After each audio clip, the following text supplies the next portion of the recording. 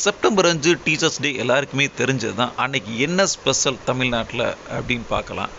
டெல்லி முதல்வர் அரவிந்த் கெஜ்ரிவால் தமிழகம் வர இருக்காரு. தமிழக முதல்வரோடு இணைந்து சில முக்கியமான திட்டங்களை தொடங்க இருக்காரு. அது என்னென்ன திட்டங்கள் அந்த திட்டங்களோட சிறப்பு அம்சங்கள் என்னென்னு நம்ம இப்போ பார்க்கலாம். முதலாவதாக புதுமை பெண்கள் திட்டம் அப்படிங்கிற ஒரு திட்டம் தொடங்க இருக்குது.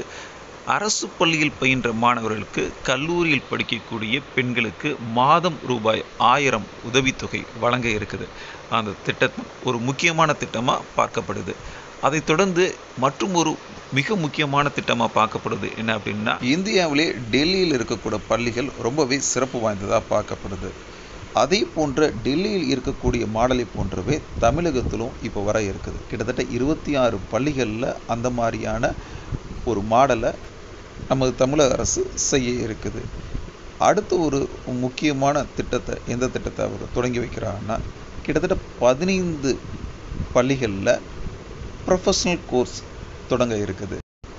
அதாவது மேம்படுத்தப்பட்ட தொழிற்கல்வி வகுப்புகளை தொடங்க இருக்குது.